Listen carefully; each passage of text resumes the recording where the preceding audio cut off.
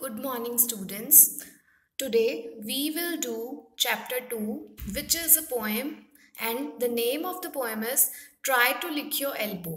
This poem is written by Kenn Nesbitt, and in this poem we will learn about the various body parts. Now let's have a look at what the poem says.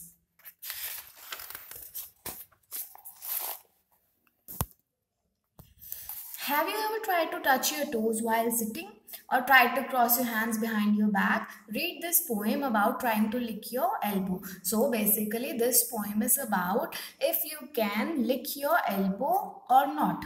The poem starts with your elbows are very tough to reach but although they are very near or very close to us just try to lick your elbow or try to put your elbow in your ear. They are saying that you cannot put your elbow in your ear or you cannot lick your elbow although it is very close but it is very tough to reach.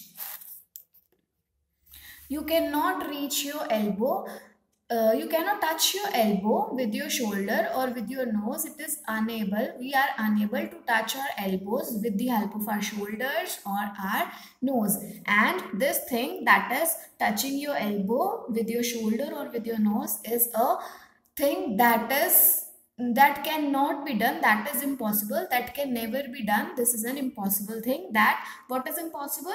To touch your elbow with your toes uh, it also says that the elbows cannot go near your neck or your forehead or your eyes. That is, you cannot touch your elbows with your forehead, your eyes, or your neck. And if you are able to touch your elbow on your spine, that is your backbone, that is the bone that is on the back, and I think that is the speaker is saying that if you are able to touch your elbow uh, to your bone, backbone, uh, the speaker thinks that you would win a prize. You would be able to win a prize if you are able to touch your elbow towards your spine. He says that once he tried to lick his elbow, but and what happened next that his elbow was very close, but then it stopped then he stopped and then he understood that this is dirty so should not he should not lick his elbow. This was in the poem. So what this poem is all about? This is all about the mischievous activities that a child's mind thinks of at times. And secondly it tells us that everyone's body is different. There are a few people who have flexible bodies and they can do many tricks with their bodies while most people are unable to do these tricks. I hope you understood this poem. Now let's have a look on the questions and the exercises that are given in this poem. Firstly, read, uh, read part says answer these questions. There are four questions given that are related to your poem. First is which part of your body is hard to reach though it's near? You have to tell about the part of body that is near but you are unable to reach that part. That is unable to reach. You have to tell about that. Secondly can you touch your elbows to your toes? Uh, the speaker or the question is asking you if you can touch your elbows to your no uh, to your toes you have to tell this. When would you win a prize and why the speaker is asking the question is asking uh, which in which situation would you be able to win a prize and why would you win a prize? Nextly why did the speaker stop trying to lick his elbow?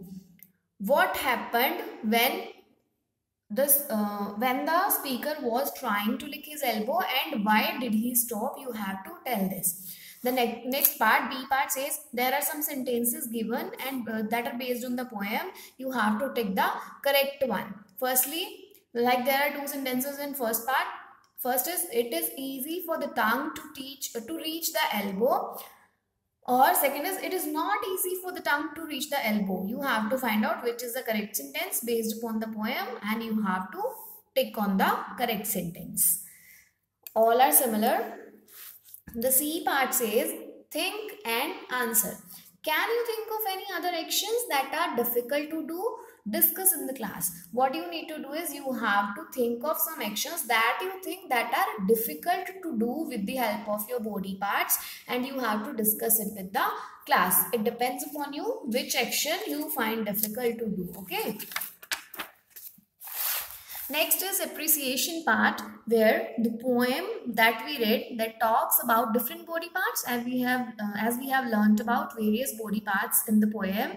So now what we have to do is we have to label here a diagram is given here a, a picture of a boy is given and it is marked. We have to define which body part is that and in the boxes we have to write the names of body parts according to the arrows given. There are some body parts given. We have to select the correct body parts and write it in the boxes according to the arrow that is mentioned. For example this arrow is pointing towards head.